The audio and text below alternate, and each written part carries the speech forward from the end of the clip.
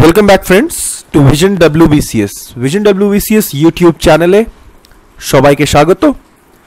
আমাদের WBCS twenty twenty ওয়ানকে লক্ষ্য করে ডাব্লিউবিসিএস টোয়েন্টি টোয়েন্টি ওয়ান মেন্সকে লক্ষ্য করে যে ডাব্লিউবিসিএস মেন্স মক টেস্ট সিরিজটা চলছিল, তার সেট নাম্বার ইলেভেন আমি নিয়ে এসেছি তোমাদের সামনে। সেট নাম্বার ইলেভেনে আমরা পেপার থ্রি হিস্ট্রি পার্টটাকে ডিসকাস করব। ওকে তার আগে তোমাদেরকে বলে দিই, আমাদের অফিসিয়াল ভিশন ডাব্লিউবিসিএস এর অফিসিয়াল অ্যাপ যেটা তোমরা গুগল প্লে স্টোরে পেয়ে যাবে প্লে স্টোরে গিয়ে আমাদের অফিসিয়াল অ্যাপটাকে ডাউনলোড করে নিও। ওইখানে এই সমস্ত ইউটিউব ক্লাসেসের ভিডিও অ্যাজ ওয়েল অ্যাজ সমস্ত ইউটিউব ক্লাসেসের যে পিডিএফ নোটস হবে, সেটা তোমরা কিন্তু ফ্রি অফ কস্ট পেয়ে যাবে ওইখানে। অ্যান্ড যদি আমাদের সাবস আমাদের চ্যানেলে তোমরা নতুন হয়ে থাকো do subscribe like the video and share okay আর আমাদের টেলিগ্রাম চ্যানেল আছে। আমাদের অফিসিয়াল টেলিগ্রাম চ্যানেল ওইখানে তোমরা জয়েন হয়ে যেতে পারো। সেখানে তো অনেক গুরুত্বপূর্ণ মেটেরিয়ালস তোমাদেরকে ফ্রি অফ কস্টে প্রোভাইড করা হয়। সো এই তিনটে ইম্পর্টেন্ট পয়েন্ট তোমরা মনে রাখবে। Moving on first question of the day The brain behind the bomb attack on Viceroy Hardinge at Chandni Chowk, Delhi in December 1912 was তোমাদেরকে আইডেন্টিফাই করতে হবে ভাইসরয় লর্ড হার্ডিংয়ে এর উপরে যে বম অ্যাটাক হয়েছিল চাঁদনি চক দিল্লিতে, এই বম অ্যাটাকের মাস্টার মাইন্ড বা অ্যাকচুয়াল ব্রেন এই বম অ্যাটাকের পিছনে কার ছিল? অপশন এ হচ্ছে রাসবিহারী বাসু। অপশন বি ভাই Paramananda. Option C Sachchidananda Sanyal. And option D Shobhanlal Pathak. কি হবে রাইট আনসার আমি তোমাদেরকে টোয়েন্টি সেকেন্ডস দিচ্ছি। এই টোয়েন্টি সেকেন্ডসে তোমরা আমাকে আনসারটা কমেন্ট বক্সে জানাবে। কোয়েশ্চেনটাকে ভালো করে পড়বে, বুঝবে, তারপর আনসার করবে। ভাইস রয় লর্ড হার্ডিংয়ের উপরে যে চাঁদনি চক দিল্লিতে বম্ব অ্যাটাক হয়েছিল, তার পিছনে মাস্টার মাইন্ড বা brain behind that attack was whose car brain ছিল? Who was the master mind এটা তোমাকে জিজ্ঞাসা করছে। তো অনেকরাই সঠিক উত্তর দিয়েছ। It's option A Rashbehari Basu Rashbehari Basu বা রাসবিহারী বোস আমরা বলতে পারি, দুটোই অনেক জায়গাতে থাকে। রাসবিহারী বাসুও থাকে রাসবিহারী বোসও থাকে। তো রাসবিহারী বাসু বা Rashbehari Bose he was the actual person যিনি ভাইসরয়েল লর্ড হার্ডিংয়ের উপরে যে অ্যাটাক হয়েছিল বম অ্যাটাক তার মাস্টার মাইন্ড ছিলেন স্টার্টিং পয়েন্টে দেখলে দেখো Rashbehari Basu Indian independence league এর স্থাপনা করেছিলেন।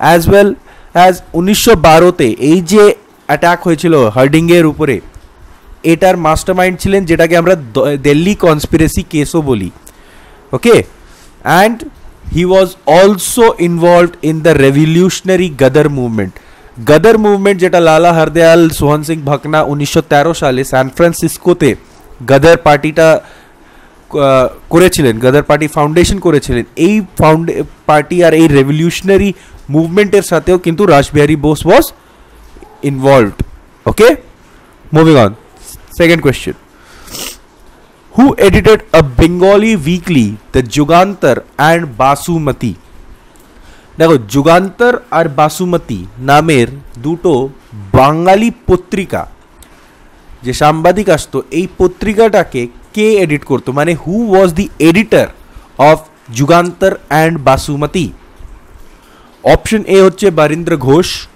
option B Aurobindo Ghosh option C Ganesh Ghosh and option D Anand Mohan Bose কী হবে রাইট আনসার আমাকে কমেন্ট বক্সে জানাও I am giving you thirty second for this question Jugantar আর বাসুমতি এই দুটো উইকলিয়ের editor কে ছিলেন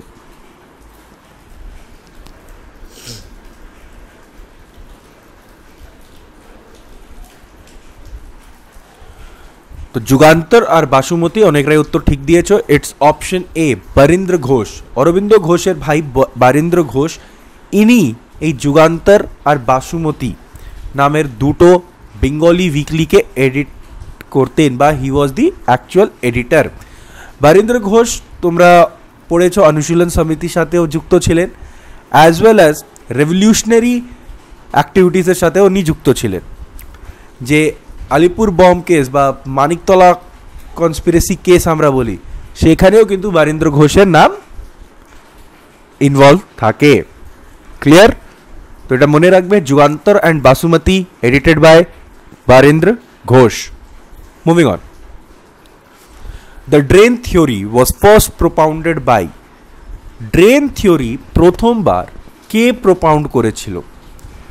Who was the propounder of drain theory option A Womesh Chandra Banerjee option B G V Joshi option C Dadabhai Naoroji and option D Romesh Chandra Dutta কি হবে right answer drain theory was first propounded by hmm এই কোয়েশ্চেনের জন্য তোমাদেরকে ten সেকেন্ডসও দেওয়া উচিত না একদমই কমন আর ইজি কোয়েশ্চেন আর অনেকরা উত্তর দিয়ে ফেলেছো very good absolutely right it's option C Dadabhai Naoroji. Dadabhai নারোজি, ওনার যে বই ছিল ওই বইতে উনি ড্রেন থিওরি বা ড্রেন অফ ওয়েলথ থিওরিটা দিয়েছিলেন। ব্রিটিশ আনরুল অ্যান্ড ইয়ে আনব্রিটিশ ইন্ডিয়া যে বইটা উনি লিখেছিলেন, এই বইটাতেই উনি যে থিওরি দিয়েছিলেন, তার নাম হচ্ছে drain of wealth theory and তো কে করেছিল ড্রেন থিওরি প্রোপাউন্ডেড তো it was Dadabhai Naoroji clear moving on next question which of the following statement is true about the vernacular press act দেখো এখানে ভার্নাকুলার প্রেস অ্যাক্ট হবে আমি একটু তোমাদেরকে এডিট করে দিচ্ছি দাঁড়াও তো ভার্নাকুলার প্রেস অ্যাক্টের ব্যাপারে এই চারটে স্টেটমেন্টের মধ্যে কোন স্টেটমেন্টটি right option A A first statement it was passed by lord Mayo second option it came to be known as gagging act. Third, it liberated the indian press from restrictions. And fourth, it was repealed by Ripon government in eighteen eighty two এই চারটে স্টেটমেন্টের মধ্যে কোন কোন স্টেটমেন্টটা right আছে? কোনো দুটো statement right আছে, এটা তোমাদেরকে আইডেন্টিফাই করতে হবে। I am giving you twenty seconds for this question এই কোয়েশ্চেনের জন্য তোমাদেরকে টোয়েন্টি সেকেন্ডস দিচ্ছি। টোয়েন্টি সেকেন্ডসে আমাকে আনসারটা তোমরা কমেন্ট বক্সে জানাবে। তারপরে আমি সঠিক উত্তরটা বলছি। তো it's twenty seconds for you all তাড়াতাড়ি আনসারটা জানাও।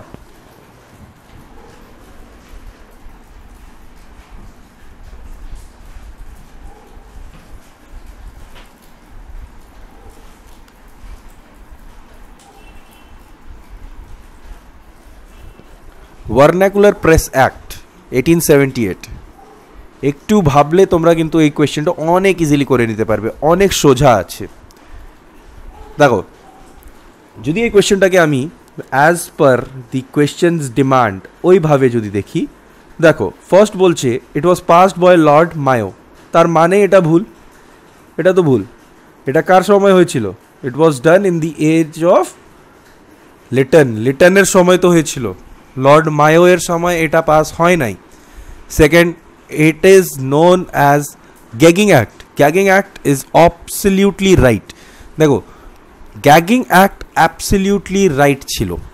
মানে কি এই অ্যাক্টটাকে vernacular press act eighteen seventy এইটকে আমরা গ্যাগিং অ্যাক্টও বলতাম।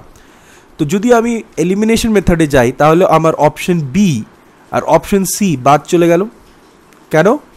Because option C and option বিতে ফার্স্ট স্টেটমেন্টটাকে রাইট বলেছে।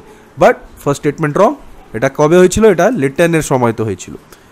ক্লিয়ার তাহলে থাকল আমার কাছে option A and option D এবার আমি এটা জানি দ্যাট গ্যাগিং অ্যাক্ট বলা হতো। চলো যদি এই স্টেটমেন্টটাতে আমি এটা না জানতাম কি গ্যাগিং অ্যাক্ট রাইট কি না, তাহলে ওই কোয়েশ্চেনটা করা যেতে পারে।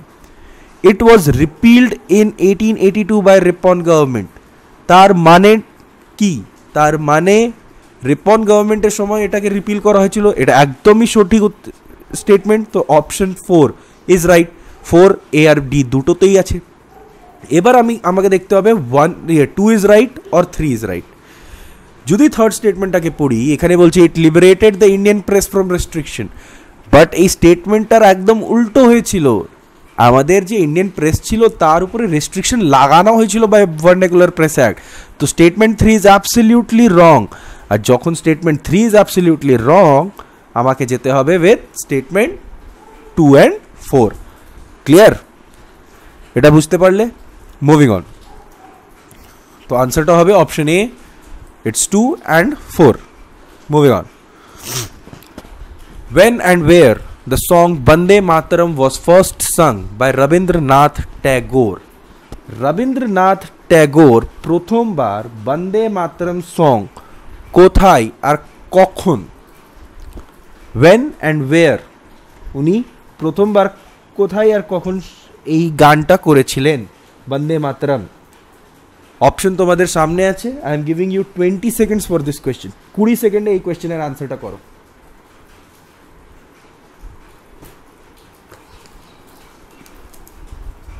তাড়াতাড়ি জানাবে। বন্দে মাতরম প্রথমবার রবীন্দ্রনাথ ট্যাগোর কোথায় পড়েছিলেন গেয়েছিলেন? কোথায় এই গানটা উনি গান করেছিলেন। এই গানটা কোথায় করেছিলেন উনি? এটা তোমাদেরকে জানাতে হবে উইদিন টেন সেকেন্ডস মানে টোয়েন্টি সেকেন্ডস দিয়েছিলাম টেন সেকেন্ডস হয়ে গেছে। তাড়াতাড়ি আনসারটা বলো।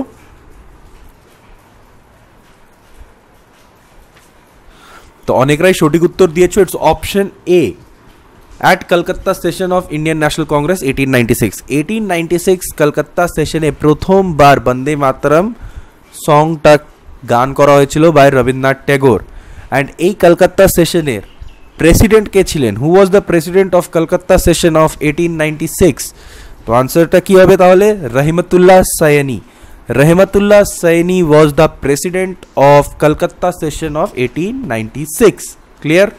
Moving on. Sixth, when did the British law pass a law making it an offense to preach nationalism? ন্যাশনালিজমকে preach করতে গেলে বা ন্যাশনালিজমকে প্রিচ করা একটা অফেন্স হবে, একটা ক্রাইম হবে, এই লটা ব্রিটিশ কোন সালে পাস করেছে? In which year did the British pass the law making preaching of nationalism an offense?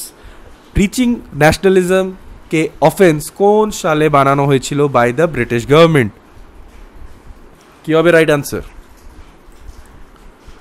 তো দেখো সঠিক উত্তর হবে option C eighteen ninety eight eighteen ninety এইটে গভর্নমেন্ট ব্রিটিশ গভর্নমেন্ট একটা ল পাস করেছিল আর এই লয়ের মাধ্যমে এটা বলেছিল that feelings of disaffection towards foreign government foreign গভর্নমেন্টের বিরুদ্ধে যদি কোনো ক্ষোভ বা কোনো ফিলিং অফ ডিসঅ্যাফেকশন আসে, তাহলে বা কোনো ফিলিং অফ ডিসঅ্যাফেকশনটাকে প্রোপ্যাগেট করা হয়, তাহলে এমন অ্যাক্টকে আমরা অফেন্স মানব।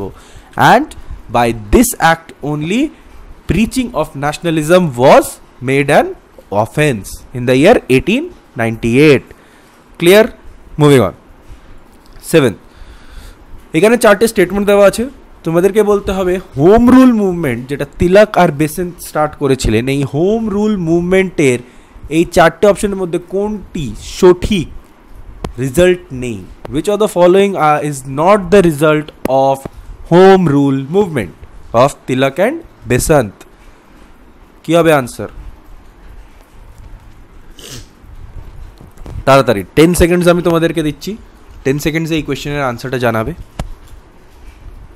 একটু আমার গলাটা আজকে ঠিক নেই একটু সর্দি হয়েছে তো এই সোর আর ব্যাড থ্রোটটাকে একটু সহ্য করে নিও আজকে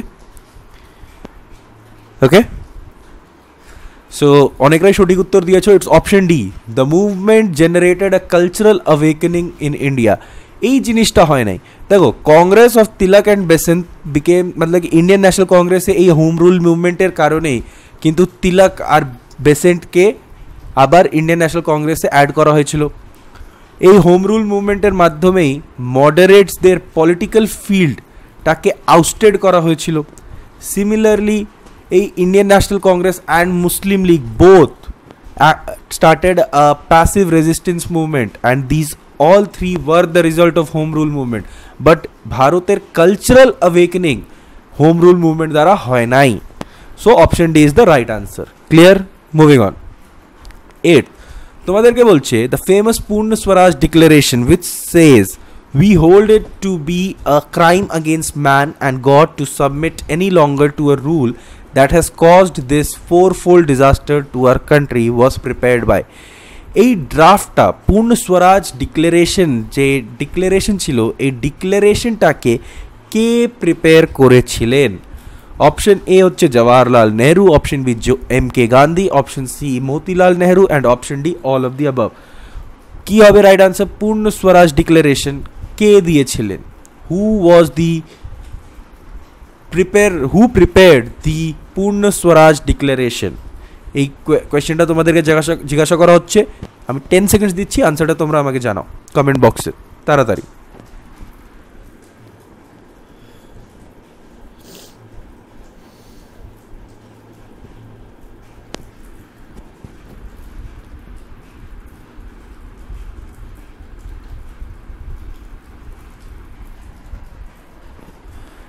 সো অনেকরাই সঠিক উত্তর দিয়েছে option D all of the above দেখো জওয়াহরলাল নেহরু এম কে গান্ধী আর মতিলাল নেহরু এরা তিনজন মিলেই এই ডিক্লারেশনটাকে প্রিপেয়ার করেছিলেন ক্লিয়ার অ্যান্ড পূর্ণ স্বরাজ আমরা কোন কংগ্রেসের কোন অধিবেশনে পূর্ণ স্বরাজটাকে অ্যাডপ্ট করা হয়েছিল? তো সবাই জানো it's nineteen twenty nine under the presidentship of Jawaharlal Nehru at Lahore session right moving on nine Who of the fo- who of the following was not hanged in the famous Kakori train dacoity Kakori train dacoity যে হয়েছিল, এই Kakori train ডাকাউতিতে এই চারজনের মধ্যে কাকে hang করা হয় নাই? এই কোয়েশ্চেনটা তোমাদেরকে জিজ্ঞাসা করা হচ্ছে who was not hanged in the famous Kakori train dacoity তো যদি আমরা একটু একটু যদি ভেবি, তাহলেই এই কোয়েশ্চেনটা হয়ে যাবে। দেখো, সূর্য সেন সূর্য সেন চিটেগাঁও আর্মারি রেডের সাথে যুক্ত ছিলেন। Surya Sen was executed for Chittagong armoury raid. তো সঠিক উত্তরটা হয়ে যাচ্ছে অপশন ডি, সূর্য সেন। ঠিক? আর তোমরা কি করতে পারো? কাকুরি ট্রেন ডাকাইতি যদি তোমরা বলি আমরা, তাহলে it's around like nineteen twenty four twenty ফাইভের আশেপাশে হয়েছে এটা। বাট সূর্য সেন যে ট্রেন ডাকাউতি করেছিলেন সেটা এই সরি সূর্য সেন যে চিটেগাঁও আর্মারি রোড করেছিলেন সেটা কোন সালে হয়েছিল সেটা হয়েছিল in the year nineteen thirty clear moving on tenth question why did Bhagat Singh and Batukeshwar Dutt throw bombs on the floor of the Central Assembly in New Delhi and in process got themselves arrested. Bhagat Singh R Batukeshwar Dutt central assembly new দিল্লির যে central assembly ছিল, এর ফ্লোরের উপরে bomb কেন ফেলেছিলেন? এই কোয়েশ্চেনটা জিজ্ঞাসা করা হচ্ছে।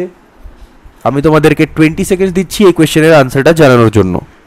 ওকে আনসারটা জানাও। তো কি হবে right answer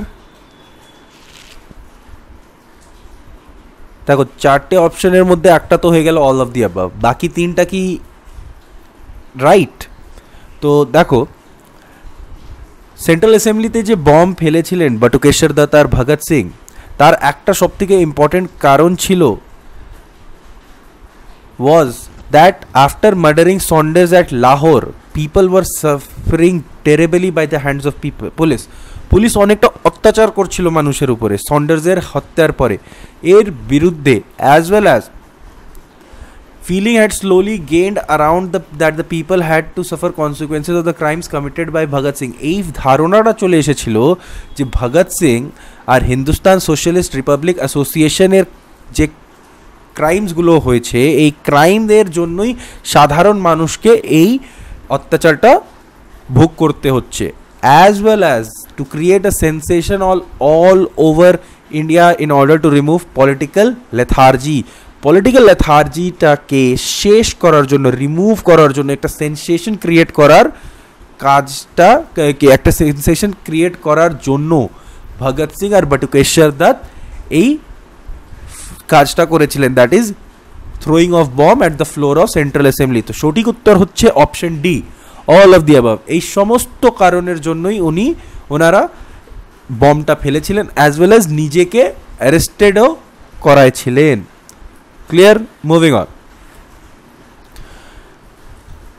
the tripurari uh, sorry the tripuri session of indian national congress the, the, uh, to, was a historic event on the account of Tripuri session Indian National কংগ্রেসের যে ত্রিপুরি সেশন ছিল এটা একটা হিস্টোরিক ইভেন্ট আছে Indian হিস্ট্রিতে সেটার কারণটা কি what was the historic event that hap যার কারণে আমাদেরকে ত্রিপুরি সেশনটা মনে রাখতে হয়। তো এই কোয়েশ্চেনটার আনসার তো একদম মানে কি আমরা যখন প্রি লেভেলের পড়াশোনা করি তখনই জানি। তো ত্রিপুরীতে সুভাষচন্দ্র বোস ভার ইন্ডিয়ান ন্যাশনাল কংগ্রেসের রাষ্ট্র প্রেসিডেন্ট হয়েছিলেন ত্রিপুরি সেশনের আফটার ডিফিটিং পিতাভি সীতারামাইয়া, পতাভি সীতারামাইয়াকে হারানোর পর অ্যান্ড পতাভি সীতারামাইয়া কে ছিলেন? He was the nominated member of Gandhiji. So অপশনটা হচ্ছে অপশন এ ত্রিপুরারি ত্রিপুরী সেশনটা ইম্পর্টেন্ট বিকজ সুভাষচন্দ্র বোস গান্ধীজি যে নমিনি ছিল পতাভি সীতারামাইয়া, ওকে হারায়।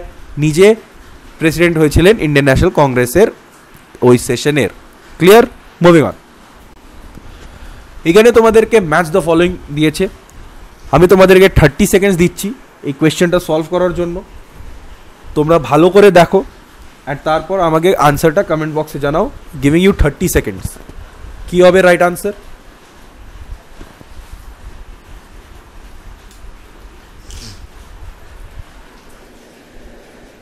তোমাদেরকে বলতে হবে যে August offer Cripps mission Quit India resolution আর গ্রেট আগস্ট আপ্রাইজিং এটার টাইম পিরিয়ডটাকে আইডেন্টিফাই করতে হবে। অপশন তোমাদের সামনে আছে। আনসার তোমরা আমাকে কমেন্ট বক্সে জানাবে।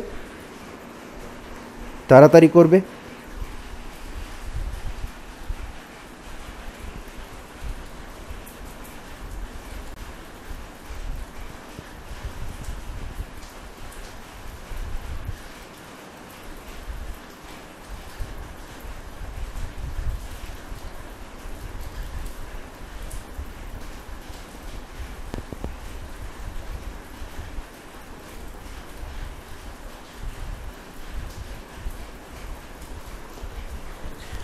অনেকরাই সঠিক উত্তর করেছ।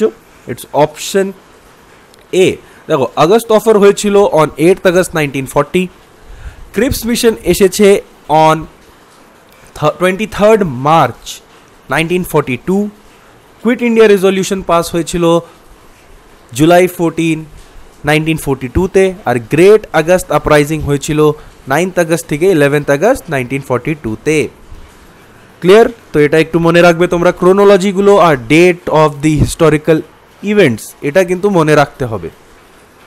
Clear moving on thirteen question which of the following is not a representative of Buddhist art এই চারটে অপশনের মধ্যে কোন অপশনটি বুদ্ধিস্ট আর্টের রিপ্রেজেন্টেটিভ নেই? স্তূপা, গোপুরম, বিহারা, চৈত্য। তো এটা নাম দিয়েই আমরা এতবার বুদ্ধিজম, জৈনিজম পড়েছি, সেখানে স্তূপার ব্যাপারেও পড়েছি চৈত্যের ব্যাপারেও পড়েছি, বিহারায়ের ব্যাপারেও পড়েছি। বাট গোপুরম আমরা কোথায় পড়েছিলাম? গোপুরম আমরা পড়েছি Vijayanagar ডাইনেস্টিতে। And gopuram is related to temple architecture mandapas and all মণ্ডপের সাথে যুক্ত আছে gopuram. So right answer is option B gopuram. Okay moving on fourteen Which of the following areas were viewed as impure by later Vedic authors? Late Vedic later Vedic authors যারা ছিলেন ওনারা কোন এরিয়াকে impure হিসাবে classify করেছিলেন বা impure ভাবতেন option A Anga option B Magadha option C Banga and option D Allah all the above কোন এরিয়াকে লেটার বেদিক অথর ইম্পিওর ভাবতেন? তো রাইট আনসার হচ্ছে option C Vanga Vanga was the area যেটা আমরা যদি যখন সিক্সটিন মহাজনপতাজ পড়ব, সেই মহাজনপতাজের মধ্যেই একটা এরিয়া আমরা দেখব, সেখানে যাকে বেদিক এজে ওয়াঙ্গা বলা হতো। আর এই Vanga was viewed as an impure area clear moving on. 15. The first Indian rulers to issue gold coins on Roman pattern were প্রথম ইন্ডিয়ান রুলার যারা গোল্ড কয়েন্স রোমান প্যাটার্নের উপরে ইস্যু করেছিলেন who were those option A Sungas option B Kushans option C Indo Greeks and option D Vakatakas কি হবে right answer তো একটু যদি ভেবে থাকো ওয়ার্ডটা কি ওয়ার্ডটা কোয়েশ্চেনের কি ওয়ার্ডটাকে ক্যাচ করবে, তাহলেই আনসারটা হয়ে যাবে। অনেকরা এখানে কনফিউজ করেছ অপশন বি আর সি এর মধ্যে। এখানে right answer will be option B Kushans কেন? বিকজ এখানে একটা ইম্পর্টেন্ট ওয়ার্ড বলেছে, যেটা হয়তো তোমরা লক্ষ্য করো নাই। That word is Roman pattern Roman প্যাটার্নে কে করেছিল ইন্ট্রোডিউস তো রোমান প্যাটার্নে কুশনসরা করেছিল। Clear moving on According to a legend, whom did Sikandar Lodi, the Sultan of Delhi, tried to kill by various means? Sikandar Lodi এই চারজনের মধ্যে কাকে ভেরিয়াস মিনসের কারণে বা ভেরিয়াস অনেক প্রকারের বা অনেক চেষ্টা করে কাকে মারার চেষ্টা করেছিল who was attempted to be killed by Sikandar Lodi Sikandar Lodi কাকে মারার জন্য অনেক চেষ্টা বা অনেক ট্রাই করেছিল? তো সঠিক উত্তরটা কি হবে? অনেকরাই কিন্তু কমেন্ট বক্সে জানাই দিয়েছ। ভেরি গুড এইভাবে আনসারটা করতে থাকবে। ইটস অপশন সি কবির কবিরকে মারার জন্য অনেক plan and various means try করেছিল সুলতান of Delhi Sikandar Lodi clear moving on seventeen the success of Muizuddin Mohammad Ghori. In India was the consumption of a process which extended over the whole 12th century. By whom this observation has been made? এই অবজারভেশনটা কে করেছে তো এটা একটু out of the box question এরকম question থাকে মেন্সে তাই আমি তোমাদেরকে দেখানোর জন্য এরকম একটা কোয়েশ্চেন আজকে দিয়েছি তো সঠিক উত্তরটা কি সঠিক উত্তর হচ্ছে option A A B M Habibullah A B M Habibullah একজন ইতিহাসকার, একজন হিস্টোরিয়ান যিনি এই স্টেটমেন্টটা দিয়েছিলেন regarding Mohammad Ghori clear moving on eighteen Niccolo de Conti Vijayanagar ডাইনাস্টিতে কার রিজনে এসেছিলেন? যখন নিকোলো ডিকন্টি বিজয়নগর ডাইনাস্টিতে গেছিলেন, তখন হু ওয়াজ দি কিং এটা তোমাদেরকে আইডেন্টিফাই করতে হবে। এটা একদম প্রিলি লেভেলের কোয়েশ্চেন এর জন্য আমি তোমাদেরকে টাইমও দিচ্ছি না এই কোয়েশ্চেনে ডাইরেক্ট আনসার বলছি বাট তোমরাও আনসার করে ফেলেছো। Excellent it's option C Devaraya two দেখো দেবরায়া টু এর সময় নিকোলো ডিকন্টি যিনি একজন ইটালিয়ান ট্রাভেলার ছিলেন, চোদ্দোশো কুড়ি সালে উনি বিজয়নগর ডাইনেস্টিকে ভিজিট করেছিলেন ওকে অ্যান্ড তখন Vijayanagar dynasty was ruled by Devaraya two moving সিয়াহি কলম সিয়াহি কলম একটা নতুন টেকনিক ছিল পেন্টিংয়ের এই পেন্টিংয়ের নতুন টেকনিকটাকে কোন রাজায়ের সময়তে কি করা হয়েছিল? ফ্লারিশ করা হয়েছিল বা this new technique of painting known as শাহি কলম বিকেম ফ্যাশনেবল কখন এটা চর্চাতে চলে এসেছিল বা অনেকটা ফেমাস হয়েছিল, কোন রাজার সময়তে? তাড়াতাড়ি কমেন্ট বক্সে আনসারটা জানাও। আকবর, কি জাহাঙ্গীর, কি ঔরঙ্গজেব, কি শাহজাহ, কি হবে শাহি কলম?